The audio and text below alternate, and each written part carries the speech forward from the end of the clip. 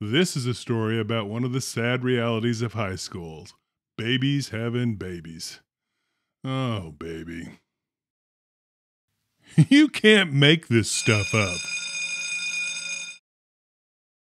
I had an appointment with little Mary's mother. Little Mary was a 14 year old freshman in high school, and little Mary was pregnant. Her mother wanted to talk to me about educational arrangements for her daughter.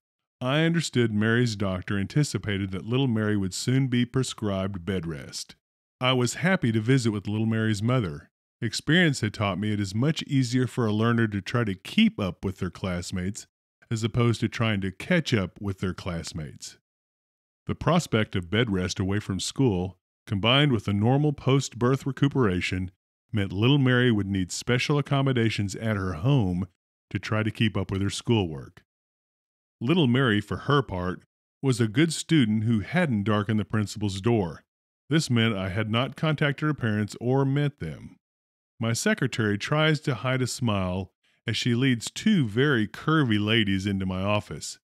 As the two newcomers get settled into the visitor chairs, my secretary exchanges pleasantries with them as she leaves. They appeared to know each other. The two ladies were dressed in a way uncommon to a high school. Both wore pencil skirts, heels, and very low cut blouses. Their tandem perfume was almost overpowering in my small office. One had to be the older sister, I judged her to be in her early 20s. The other, the mother, was probably early 40s. Both were stunningly attractive, to the point it made me uncomfortable. As I look over the mother's shoulder, I could see some of my teachers lurking about outside my office, wanting to get a look. I guess my secretary had been to the break room and stirred up interest. I just wanted to get this meeting over. Generally, my part was to coordinate the other people who would be interacting with the pregnant student. The counselor did most of the heavy lifting, a homebound substitute teacher for instruction, and the nurse for good measure. Once the team was in place, things would usually take care of themselves, since we'd been down this road many times before. It was my job to set things in motion. The meeting started downhill when I asked to see their IDs. Since I didn't know them, I wanted to make sure my conversation was with a person who was on the student's parent guardian list and had the right to the student's private information. I had written down the names from our system, I just wanted to be careful. May I see your IDs? The women, a little annoyed, fumble in their purses. The mother hands me her driver's license.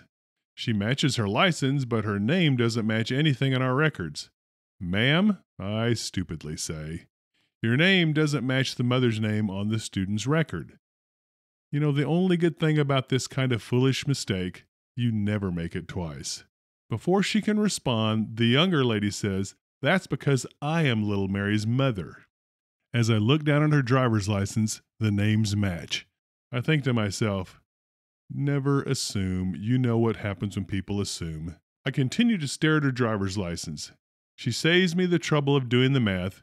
Yes, I'm Mary's mother, she says. I'm almost 29.